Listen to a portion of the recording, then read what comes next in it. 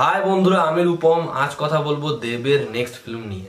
তো আমাকে দু একজন বলেছিল যে, আমি যখন জিতের আপকামিং ছবি প্রসঙ্গিতের আপকামিং ছবি বার করলাম দেবের একটা আপকামিং ফিল্ম লিস্ট বার করতে। তো আমি কিন্তু এরকম না যে জিৎ প্রসঙ্গিত ভেবেছিলাম। আমি তিনজনেরই থরলি ভেবেছিলাম, পরপর আসবে। একটু গন্ডগোল হয়ে গেছিল আমার।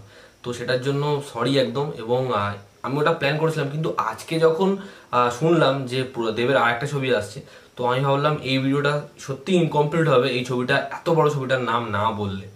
তো আমি ভাবলাম ঠিক আছে, দেবের এই ফিল্মটা নিয়ে আপাতত খবরটা কারেন্ট খবরটা জানাই।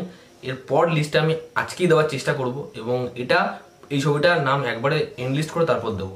তো আসল কথা হচ্ছে দেব এবং সৌমিত্র চট্টোপাধ্যায় মানে একজন এই যুগের স্টার এবং একজন ওই যুগের সুপারস্টার সুপারস্টার বললেও না কোথাও কি কম হবে।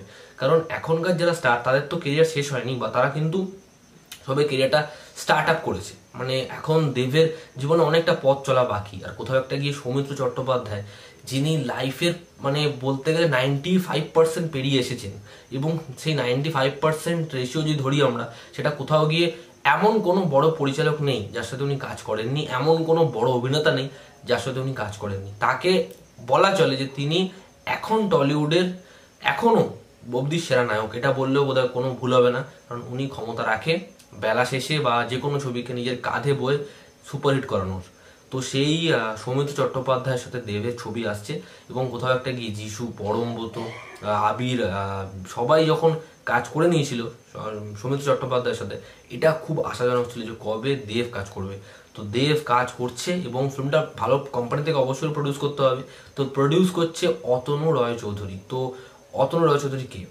ইনি আগে প্রাক্তন প্রডিউস করেছিল, যদিও কো প্রডিউস করেছিল, কিন্তু এবার তিনি নিজের একটা আলাদা করে প্রোডাকশন হাউস বানিয়েছে যার নাম দেওয়া হয়েছে বেঙ্গলি টকিস এবং এই বেঙ্গল টকিসের তিনি প্রথম ছবিটা খুব ভালো করে বানাতে চান এবং এটা অবশ্যই সম্পর্ক রিলেটেড ছবি হবে।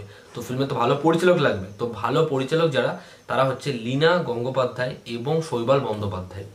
এই ছবিটা তারা দুজনে মিলে পরিচালনা করবেন এবং তারা আজকে প্রেস কনফারেন্সে জানিয়েছে যে এই ছবিটা একটা রিলেশন বেসড গল্প হবে এবং ছবিতে মুখ্য ভূমিকায় থাকবে দেব, সৌমিত্র চট্টোপাধ্যায় এবং অর্পিতা চ্যাটার্জি আর পাওলি দাম। মানে বোঝা যাচ্ছে ফিল্মের কাস্ট কিন্তু খুব ভালো বিল্ড আপ হয়েছে। মানে ফিল্মের কাস্ট খুব ভালো নেওয়া হয়েছে। তো ফিল্মটা যেহেতু রিলেশনের গল্প এবং ডিরেক্টর এটাও বলেছেন যে ফিল্মে কিন্তু দেবকে যেভাবে দেখানো হবে, সেভাবে দেব আগে এরকম কোনো ক্যারেক্টার করেনি। তো এইটা মানাই যাচ্ছে যে যেমন দেব কোথাও একটা গিয়ে মাস ছবি করছে, কোথাও একটা গিয়ে অন্য ধরনের ছবি করার চেষ্টা করছে, আবার এরকম রিলেশন বেসড ফিল্মও করছে, যেটার মধ্যে কন্টেন্ট ভরপুর থাকবে।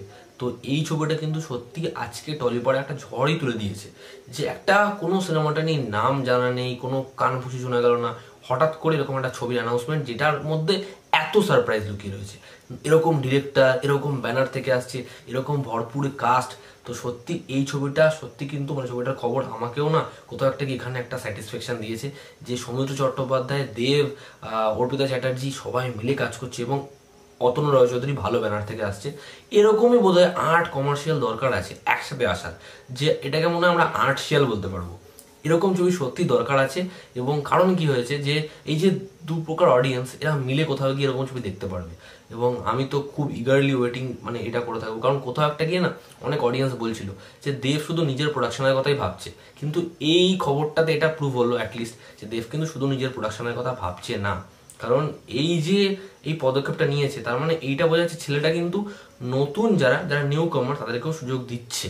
এই ফিল্মটা রায়- রায় চৌধুরী দুজন ডিরেক্টরকে নিয়েছে এবং এরকম একটা কন্টেন্ট বেসড ফিল্ম যে ফিল্মটা জানেন না ফিল্মটা কীরকম কি হতে পারে, সেই ফিল্মটা দেব সাইন করেছে। তো এটা কিন্তু এরকম একটা যাদের সাথে আগে কখনো দেব পাল্লা দিয়ে অভিনয় করেনি, তাদের সাথে কাজ করছে কারণ সে নতুন কিছু আনতে চায় আমাদের ইন্ডাস্ট্রির জন্য। তো এই জন্য দেবকে সাপোর্ট সত্যি করতে হয়।